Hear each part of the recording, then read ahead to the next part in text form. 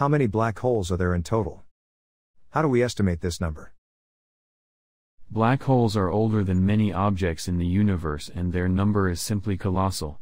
Their origin and formation tells about our past and future. Stephen Hawking would be so delighted to see the growing interest and advancement in the field of science pertaining to black holes. It was his dream and vision to be able to not just understand the entirety of a black hole's functioning and also view it in all its glory. What is a black hole? Just about the only thing that sci-fi movies have got right over the years is the meaning of a black hole. A black hole typically refers to an area in space where the gravitational force is so ginormous that no matter or radiation can escape it. Even light can't break this cycle which amounts to us being unable to see them. The most common cause behind the birth of a black hole is the death of a star. So while it is impossible to see black holes, very advanced telescopes are used to observe the structure and behavior of stars that are thought of being close to one owing to the fact that they behave differently when in vicinity of this cosmic titan. Constituents of a black hole. Inner and outer event horizons.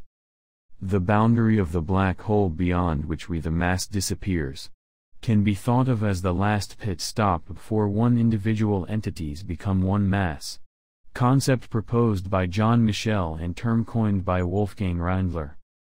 Singularity. The singularity of a black hole is that one point in space and time where the entire mass of the black hole is concentrated. The meaning of individual entities is lost at this point. Discovered by Ezra Newman. How do black holes form and what is their range of size? While most scientists argue that the first black holes emerged when the universe initially started expanding, it's the stellar black holes that are formed when the core of an extremely big star collapses on itself. But, supermassive black holes are thought to have come into existence at the very same time as the galaxies they are part of. The one thing that is common to most if not all black holes is the path they take after the parent star has died. When the fuel of the star reaches its end, the first process that takes place is the conversion of hydrogen to helium followed by the further burning of helium once the hydrogen runs out too. How do we locate black holes? This question at first seems absurd because one would say even light doesn't escape a black then how can we locate one but on closer look into the characteristics of black holes, there are a few ways in which they can be remotely and precisely located. The first method is to pay close attention to the gravitational aspects of a black hole. Any black hole would cause the neighboring entities to come closer to it and cluster around it, ultimately falling into the dense one-way path. The second method includes looking out for possible X-ray emissions. When matter falls into the black hole, it gets collected in a dense ring-like structure, just at the horizon and the unparalleled energy is converted to light on some occasions, making it feasible to locate a one of these big boys. How many black holes are there? The density of black holes varies over a wide range of properties of space like the type of galaxy, type of stars found in it etc. To estimate the number of black holes in a certain galaxy, the dust and gas formations need to be keenly observed.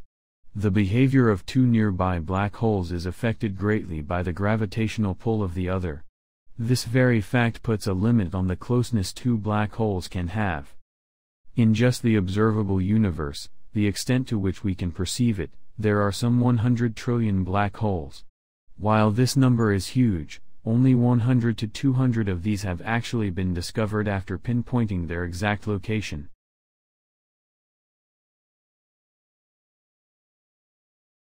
How do we estimate the number of black holes? The first step towards finding the approximate number of black holes in the universe is segregating areas according to certain characteristics such as closeness to a galaxy, star etc. On observing the same set of attributes, and, applying them to different points of the same area, an average number of black holes comes up with 10 to 20 holes as buffer. The next step is to find similarities between the multiple key areas and categorize the black holes as supernova, quasars etc. Because each type PF black hole entity has very polar characteristics, it is somewhat possible to locate more of the same type in a range-bounded area.